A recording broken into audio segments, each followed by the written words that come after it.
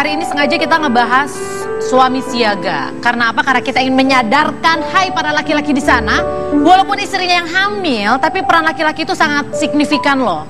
Karena kalau misalkan ibunya rileks, ibunya happy, ini janin yang dikandung juga lebih happy, lahirnya juga bisa lebih sehat. Bener. Terus Makanya- komunikasi juga harus dijalin tuh. Betul itu dia nih. Ini udah banyak nih dapat ilmu parenting nih. Iya bener. Dan udah udah memang dijalanin dulu sebelumnya karena memang eh, kayak yang pasti harus komunikasi. Komunikasi antar suami istri atau komunikasi anak ke janin apa gimana nih? Dua-duanya komunikasi harus eh, lebih intens suami sama istri. Terus juga suami sama istri ngomong nih sama anaknya. Tuh, lo Dari percaya awal nggak di apa yang dikatain sama Wendy? Percaya percaya. Percaya. percaya. Fotoku. Oh ya kok ada foto lu sih? Ini keluarganya siapa sih sebenarnya kita bahas? Tapi gue pengen Kan kita, nanya deh. kita selalu jalan berempat ke mana-mana. Oh iya ke Bali juga terakhir bareng. Eh, eh, kebetulan kan memang gua supir tra- travel, nah dia kan guide-nya. Kerja lah kita sana. jalan? Cuman setahu setahu Panda ini anak yang sudah memang lama ditunggu-tunggu. Ya, ini udah memasuki lima tahun pernikahan kita. Dan akhirnya, Iya, akhirnya. hamil juga. Gue dari yang semangat loh. Gue dari yang semangat gimana gimana gimana sampai yang akhirnya nahan nahan untuk nanya kalau sama istri yang eh udah isi belum ya udah isi eh udah jangan ditanya Gak enak, nggak ya, gitu. tapi kan akhirnya akhirnya dikasih juga. alhamdulillah Nah, apakah itu langsung lantas membuat Isa menjadi ayah yang siaga? Iya sih. Malah cenderung lebay, Cenderung lebay. hmm, protektif. Contoh-contoh lebaynya gimana? Ya ada aja kayak, ini makan ini biasa juga makan nggak boleh. Kasih satu contoh spesifik yang menurut lu, ah gila lebay banget sih ini laki gue. Makan bakso, jangan sering-sering makan bakso. Padahal kan kalau orang ngidam pengennya kalau pengen makan bakso ya bakso aja gitu kan. Toh juga ma- nggak makan setiap hari iya, gitu toh juga kan. nggak pakai garam, nggak pakai Aha, aha. MSG, nggak boleh ya.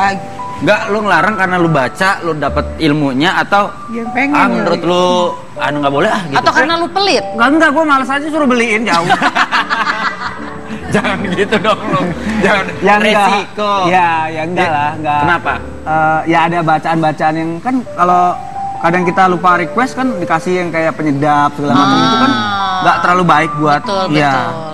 Tapi memang apakah lo sendiri mencari tahu gimana sih sebenarnya hamil yang sehat, gimana sih harusnya menjadi ayah? Lu browsing-browsing nggak atau lu nanya kiri kanan? Ya, dari dulu malah sebelum dia Hamidun ini gue udah browsing-browsing. Ah, Jadi larangan, pantangan segala macam apa sih yang nggak boleh buat orang hamil gitu. jangan-jangan malah lebih banyak dia yang browsing dibanding lo. Ya enggak lah. Oh, bareng-bareng. Sama bareng-bareng. saling ngasih tahu gitu. Ini nih baca nih kayak gitu. Bagus, bagus, bagus, Nah, bagus. tapi ngomong-ngomong kalau misalkan ini kan standar ya ibu-ibu yang namanya hamil nggak tahu bener nggak tahu enggak pasti mayoritas pada ngidam biasanya, biasanya seperti itu. walaupun mungkin sebenarnya nggak ngidam cuma karena ah mumpung hamil nih idam Oh, ngidam, idamin ngidam, aja lah ngidamnya Sama gimana ayu Ini gue apa dia? ya lu yang jawab Eh, lah tapi kan gua nanya. ada cowok yang ngidam. lu yang ngidam Enggak, enggak. Gue enggak begitu. Gue biasa aja sih. Dan Yang ngidam? gue lihat Ayu enggak se, se- enggak sesidam yang orang-orang ceritain sih. Santai, berarti kehamilan relax. santai. Iya. yang paling berat Yang paling berat pas DJ datang ke Singapura dia kemarin pengen nonton tapi nggak ada ternyata. Beneran, Iya. ngidamnya nonton DJ. Iya. Ibu ngidamnya agak ngerepotin ya ke Singapura lagi. Puasa lagi. Untung suaminya ada duit, kalau suaminya kagak ada Nah duit. bener Pusing tujuh Nah, keliling. Tapi untung ngidam DJ-nya nggak kesampean. Coba kesampean begitu brojol nggak uwe uwe Tapi cik Tapi pemirsa tahu nggak sih kenapa kita mengundang Isa istrinya dan pengennya saya ada dua temennya lagi di sini. Karena ternyata Bajai saking kompaknya sampai istrinya sekarang nih masing-masing bunting semua, hamil, Hamil, semua. Hamil semua. Istri Melki hamil kedua, eh, anak yang kedua istri Aden hamil dua bulan tiga bulan. Nah, pertanyaannya adalah apakah A mereka memang sengaja janjian bikinnya atau B hanya satu orang yang melakukan itu semua? Coy. Loh, ini kan cuma pertanyaan boleh dipilih Ya, A atau silakan. B. A atau B Kalian berencana bareng Atau satu orang yang berperan penting Bertanggung jawab atas Atau semuanya. sebenarnya cuma satu yang hamil Yang dua fotokopi C bener semua. Oh, C, bener semua Enggak, oh. Enggak sih, enggak janjian juga. Ya, nggak janjian Iya kan kebetulan juga aku udah lima tahun diberinya pas tahun ini. Aden begitu nikah langsung diberi, Melki emang sengaja pengen langsung nambah lagi. Emang lo pas abis nikah nggak langsung diberi? apa?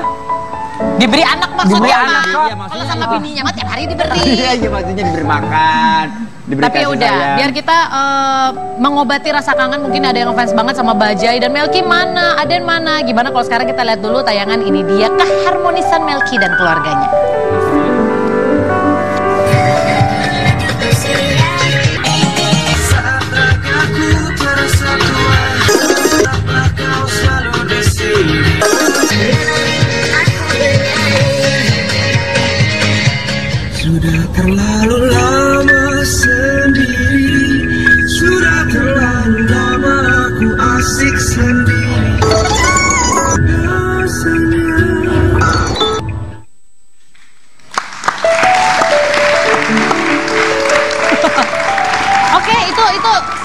Video suami istri yang luar biasa. Nah Betul. tadi tuh yang foto berdua kayak lagi pulang umroh tuh orang tuanya Melki. Enggak, tadi video Melki. oh iya iya. Ya, Melki sama istrinya. Melki sama Dewi istrinya. Dewi bener. ya iyalah kita tahu orang mukanya Melki. Iya. Bapak komentarnya Iya, iya, iya. menjelaskan sekali Kalau sih, ini Pak. beda, ini kan foto-foto gue. Iya iya iya. Iya bapak, iya benar-benar. Kita kalau nggak dikasih tahu ini foto lu, kita nggak tahu loh ini Iya. foto lu loh. Ih, takutnya orang salah kan, takutnya salah nunung tadi loh. Iya iya betul. Oh ini ah, Aden, Aden nih Aden. belum. Oke.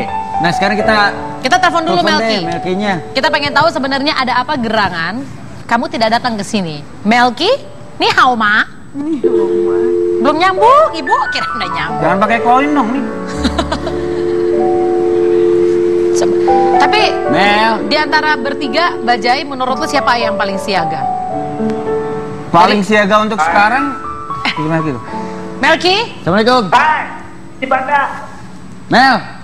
Wendy, Ah Melani. Melki, Melki. Melki, Melki. Melki. Kamu di mana? Dengan siapa? Semalam berbuat apa? Sama istri gue lah. Kak Melki di mana? Di lampu merah pancoran. Hah? Belok kiri dikit lagi terang. Lampu merah pancoran. Iya. Ya ampun, buruan jam segini patungnya lagi istirahat loh. Ini lampunya kayak hijau-hijau. Melki, kamu ke sini lagi sama anak sama istri. Iya dong, sama anak sama istri. Ke mana aja kan kita pengen tadi datang di sini jam eh, jam berapa kita tadi mulai jam 10 kan pengen langsung ngobrol. Makanya gue setengah delapan berangkat dari rumah. Ya di Jangan mana? dari rumah dong. Kalau berangkat setengah delapan biar nyampe.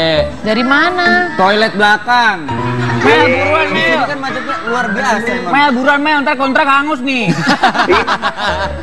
Mel, Mel, tapi ngomong-ngomong kita sambil ngobrol dulu deh. Ini kelahir- eh, persiapan kelahiran anak kedua bulan ke-6 ya.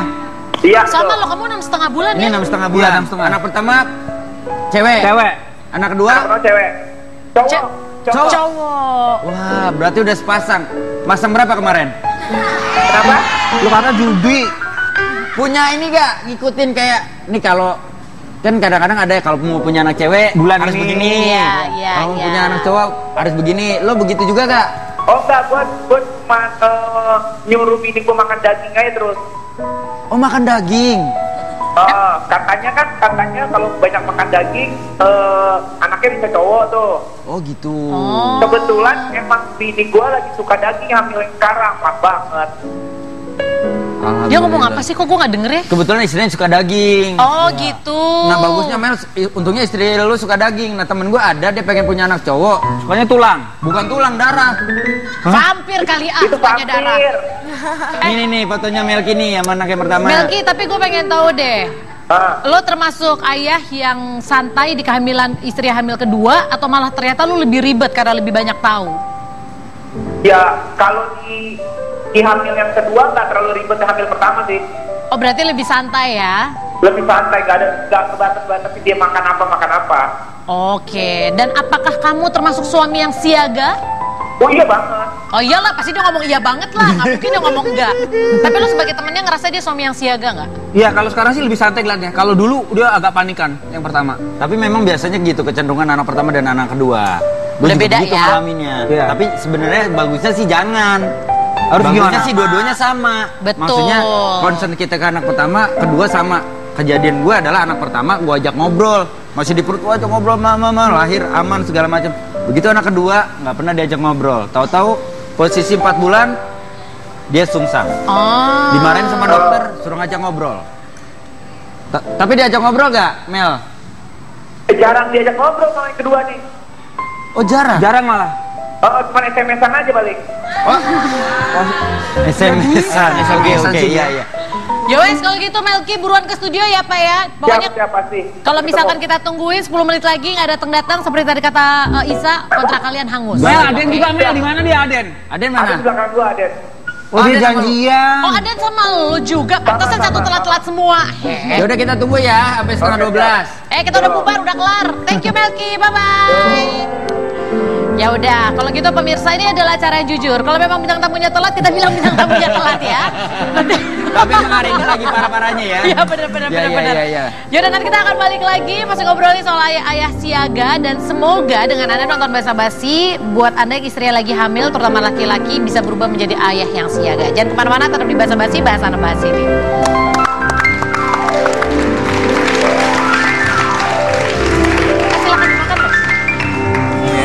Satu terus. Itu terus manis-manis aja. Yang satu terus dong tambah anak kita nanti. Oh iya, tambah Iya. banyak. Terus kita juga pengen punya keluarga yang bahagia. Terus kayak orang-orang yang kita lihat